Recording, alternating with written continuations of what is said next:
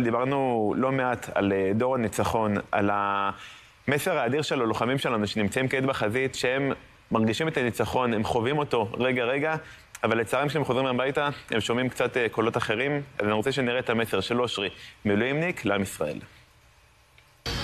וואו, אחי, אני, אני כבר לא סופר. 120 ומעלה זה... תשמע, זה מטורף, אחי.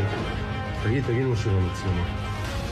עם ישראל היקר, מעל 120 ימים אנחנו פה.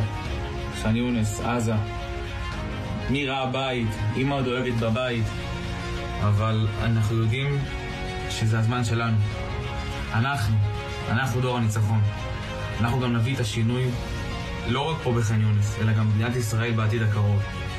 עם ישראל חי.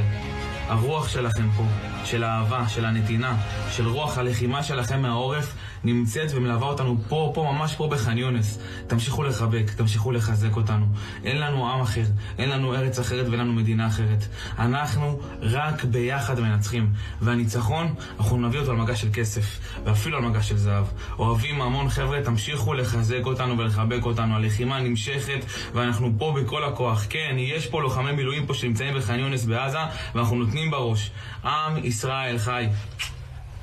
זה, זה, זה, זה כל הזמן צריכים להזכיר את זה לאנשים. גם לחילי טרופר, אגב, עם הניצחון, אני פשוט לא יכולה להירגע מהסיפור הזה. אני מבין, אני מכבד את זה. שהוא לא מוכן לקבל את המילה הפומפיוזית, ניצחון מוכן. תגיד את זה למילואימניקים שעכשיו דיברו פה בסרטון. צריכים להבין מה, מה, מה אנשים פה מקריבים. אני לא מדבר על האנשים שהקריבו את חייהם, לא מדבר על האנשים שפצועים וששנים ילווה אותם השיקום.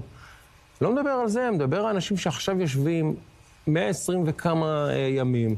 שם, התרחקו מהבית, התרחקו מהאישה, מהילדים, מהחברים, מהקריירה, מהלימודים, מהעסק, מה, מהחיים שלהם, עצרו הכל, עצרו הכל, לחצו ברקס על החיים שלהם. בשבילם, בשביל האנשים האלה, ויש מאות אלפים, זה לא אה, גדוד, מאות אלפים שאנחנו מכירים, יש פה אחד שלא מכיר מישהו מהמילואים שעצר את החיים שלו, עצר את החיים שלו פשוט. בוא, נת, בוא ניתן להם את הכבוד.